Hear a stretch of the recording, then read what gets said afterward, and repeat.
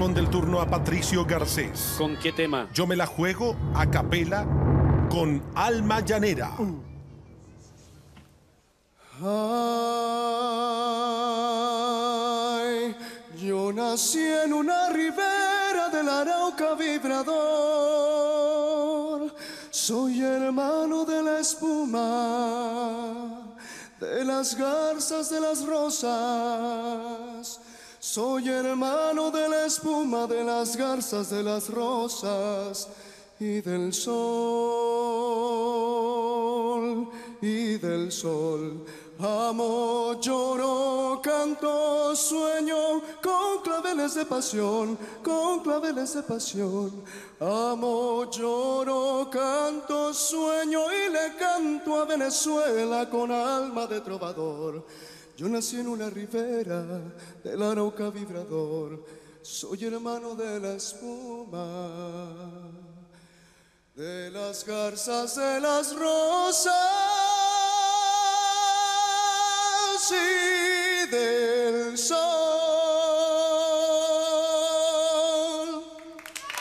Patricio Garcés, opción 24. A capela. Pato. Asiento maestro, es muy importante lo que, entre otras cosas, va a decidir el jurado en lo que es el cómputo hasta el momento de los cantantes. No vas muy bien. Eh, estás mal, estás casi, no, no casi, cerrando. Estoy último, no estoy casi último, estoy último. Bueno, y se viene, ya lo hemos reiterado, este próximo viernes, 2 de enero de, de 2004, se vienen dos cantantes a capilla. El jurado, en definitiva, a través de la voz de Jaimito, René, ¿quién? Jaime Colón. Jaime Coloma. Jaime. Jaime, gracias.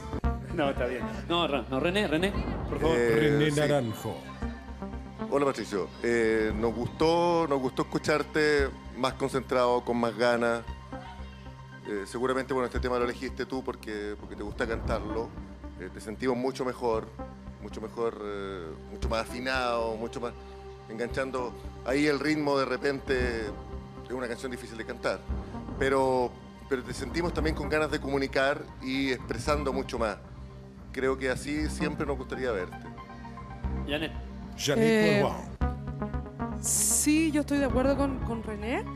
Querría agregar nada más que por el estilo, que es una canción folclórica, de pronto hubiera sido bueno jugar un poquito más con el ritmo, porque es una canción muy rítmica y está bien de, de- claro, un joropo y de interpretación está bien de pronto hacer un realentando, pero también jugar con la rítmica. Creo que de pronto fue muy lenta y pierde el, el brillo, el Claro. joropo, que es tan bonito ese ritmo, ¿no?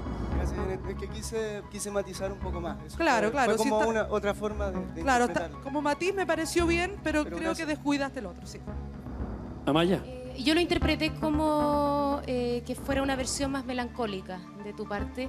Eh, últimamente, cuando hiciste estos eh, tareas en directo, etcétera, se te había perdido un poco lo vocal.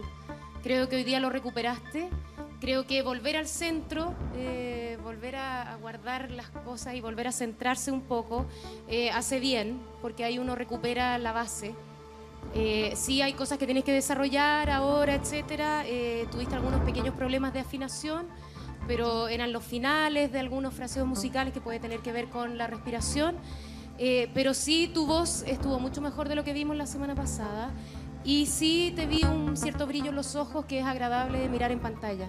La opinión del jurado para la actuación de Patricio Garcés. Grande